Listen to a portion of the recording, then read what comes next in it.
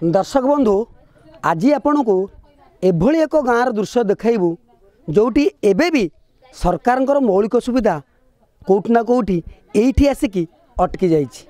ଇଏ ହେଉଛି କଟକ ଜିଲ୍ଲା ବାଙ୍କି ଡମ୍ପଡ଼ା ପଞ୍ଚାୟତର ବାଘୁଆ ଗାଁ। ଯାହାର ଦୃଶ୍ୟ ମୁଁ କ୍ୟାମେରା ପର୍ସନକୁ କହିବି ଦେଖେଇବେ ଆମେ ଗ୍ରାଉଣ୍ଡ ଜିରୋରେ ଆଜି ପହଞ୍ଚିଛୁ ସେଇ ଗାଁରେ ପହଞ୍ଚିଛୁ। ଦୃଶ୍ୟ ଦେଖିପାରୁଥିବେ। ଏଠି ମାଆମାନଙ୍କର ଏଇ ଘରର ଦୃଶ୍ୟ।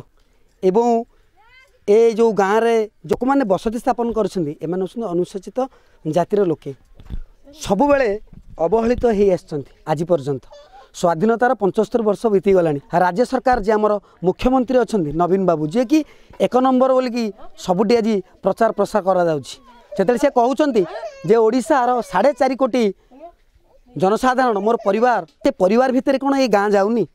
ମୁଁ ତାଜା ଚିତ୍ର ଆପଣ ଯଦି ଦେଖିବେ ଆପଣ ମଧ୍ୟ ବ୍ୟଥିତ ହେବେ ଏ ଘର କୌଣସି ମୁହୂର୍ତ୍ତରେ ଭାଙ୍ଗି ପଡ଼ିବ। ଯେତେବେଳେ ବର୍ଷା ପବନ ଆସୁଛି ଯେତେବେଳେ ବାତ୍ୟା ଆସୁଛି ଦୈବିକ ବିତ୍ପାତ ହେଉଛି ଏ ଲୋକମାନେ ଭଗବାନଙ୍କୁ ଭରସା କରି ରହୁଛନ୍ତି। ଆମେ ସେ ଗାଁରେ ଅଛୁ। ଯିବା ଲୋକଙ୍କ ସହିତ ଆଲୋଚନା କରିବେ ଏ ଗାଁରେ ଯେଉଁ ଜନସାଧାରଣ ଅଛନ୍ତି ଯେଉଁ ମାଆମାନେ ଅଛନ୍ତି ତାଙ୍କ ସହିତ ଆଲୋଚନା କରିବା ତା ପୂର୍ବରୁ ଏ ଘରର ଦୃଶ୍ୟ ଦେଖନ୍ତୁ। ଏଠି ଲୋକ ରହିଲା ଭଳିଆ ଅବସ୍ଥାରେ ମଧ୍ୟ ନାହାନ୍ତି। ଆପଣ ଦେଖିପାରୁଥିବେ ମୁଁ ସେଇ ଘରର ଦୃଶ୍ୟ ଆପଣଙ୍କୁ ପୁଣି ତା ଚିତ୍ର ଦେଖେଇବି। ଏଠି ଏଇ ଘରେ ହିଁ ମାଆମାନେ ରୋଷେଇ କରୁଛନ୍ତି ଏଇ ଘରେ ଖାଉଛନ୍ତି ଯଦି ଆପଣ ଦେଖିବେ ଆପଣ ମଧ୍ୟ ଦୁ- ମାନେ ବ୍ୟସ୍ତ ହେବେ ଏବଂ ବିବ୍ରତ ହେବେ ଏହା କୌଣସି ଉପାତ ଅଞ୍ଚଳ ନୁହଁ। କଟକ ଜିଲ୍ଲାଠାରୁ ମାତ୍ର ତିରିଶ କିଲୋମିଟର ଦୂରରେ ଏ ଗାଁଟି ପଡ଼ିବ ଆଜ୍ଞା ଆପଣ ଦେଖିପାରିବେ। ତେବେ ଏ ଗାଁର ଦୃଶ୍ୟ ଆପଣ ଦେଖିଲେ। ଯିବା ସେ ଗାଁର ଯେଉଁ ମାଆମାନେ ଅଛନ୍ତି ତାଙ୍କୁ ସବୁ କେମିତି ରହୁଛନ୍ତି କେମିତି ଚଳୁଛନ୍ତି ତାକୁ ଦେଖେଇବା।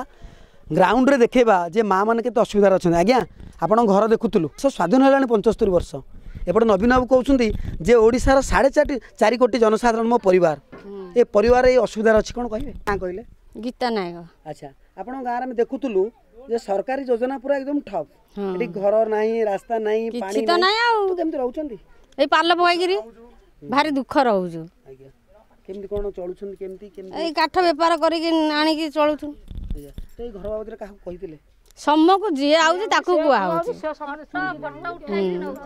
ସମସ୍ତେ କୁହା ହଉଛି ବିଡୁଆ ଆଉଛି ସରପଞ୍ଚ ଆଉଛି ଓକିଲ ଆଉଛି ସମକୁ କୁହା ହଉଛି କେହି ବି ଶୁଣୁନାହାନ୍ତି କି କାନୁନାହାନ୍ତି ତ ସରକାରଙ୍କର ମାଳମାଳ ଯୋଜନା ସରକାର ବିଜୁ ପକ୍କା ଘର ଏବଂ ସବୁ ଘରେ ଘରେ ପାଇପ୍ରେ ଯୋଗେ ପାଣି ଯୋଗେଇବା ଏବଂ କେନ୍ଦ୍ର ସରକାର ଏବେ ଚାଉଳ ଦେଉଛନ୍ତି ପ୍ରଧାନମନ୍ତ୍ରୀ ଆବାସ ଯୋଜନା ଦେଉଛନ୍ତି ଆପଣ କାହିଁ ପାଉନାହାନ୍ତି? ନାଇଁ ଆମେ ତ କିଛି ପାଉନୁ ଆଉ। କିଛି ପଇସାଟା ପାଉଛୁ ଚାଉଳଟା ପାଉଛୁ। ଏ ଯେଉଁ ବାତ୍ୟା ପଇସା ବୁଢ଼ୀ ଆଣୁ ସେଇ କନ୍ୟା ପାଉଛନ୍ତି ଆଉ ଚାଉଳ ଗଣ୍ଡିଏ ପାଉଛୁ ଆଉ କିଛି ନାହିଁ। ଆମର ଘର ଦ୍ୱାରା କିଛି ନାହିଁ। ଆଜ୍ଞା, ସରପଞ୍ଚ ଆପଣଙ୍କ ଗାଁକୁ ଆସୁଛନ୍ତି? ହଁ ଆସିଥିଲେ। କହୁଛନ୍ତି? ପଞ୍ଚାୟତ ଘର ଆସିବା କାମ ସରିଗଲେ ଆଉ କେହି ଶୁଣିବାର ନାହିଁ। ଆଉ ଭୋଟ ହେଇକି ଦେ- ଏଇନା ଇଲେକ୍ସନ ଟାଇମ୍ ବୋଲିକି ଘରେ ଘରେ ଆସିକିରି କହୁଛନ୍ତି। କାମ ସରିଗଲେ ସେ ତାଙ୍କ ଘରେ ଆମେ ଆମ ଘରେ। ପଞ୍ଚାୟତ ଯାଇକି ଗଲୁ ଘର କହିଲେ ଘର ଯୋଜନା ଆଇଛି ପଞ୍ଚାୟତ ଦେଇ ଗଲୁ ଉଁ, ସବୁ ନେଇକିରି କିଛି ନାହିଁ ଘର ନାହିଁ ନା ଦୁଆର ନାହିଁ। ଆଚ୍ଛା ମା କେତେ ବର୍ଷ ହେଲା ଆପଣ ଏଠିକି ଘର? ଆପଣ ତ ସବୁଠୁ ମୁରବୀ ଲୋକ ବହୁତ ପୁରୁଣା ଲୋକ। କେବେଠୁ ଏ ଗାଁରେ ରହିଲେଣି? କେତେ ବର୍ଷ ହେଲା କହିଲେ? ମୁଁ ମୋର ସ- ଅଶୀ ଛଅ ବର୍ଷ। ଛୟାଅଶୀ ବର୍ଷ ହେଲାଣି। ଏ କାହିଁକି ଘର ଆପଣଙ୍କୁ ମିଳୁନି? ଆଉ କେଜାଣି କ'ଣ ମିଳୁନାହିଁ ଆମେ କେମିତି କହିବୁ ଆମେ ଯଦି କହିବୁ ଘର ଆମର ଆସିନାହିଁ ନା ହଁ ଆସିବ ଆସିବ। ଆପଣ ଭୋଟ ଦେଉଛନ୍ତି? ହଁ। ଆପଣ ଭୋଟ ଦେଉଛନ୍ତି? ତାହେଲେ ଆସୁଛନ୍ତି ସେମାନେ କ'ଣ କହୁଛନ୍ତି ଆପଣ? କହୁଛନ୍ତି ହଁ ଘର ତମର ଆସିବ। ଲେଖିକିରି ନେଉଛନ୍ତି।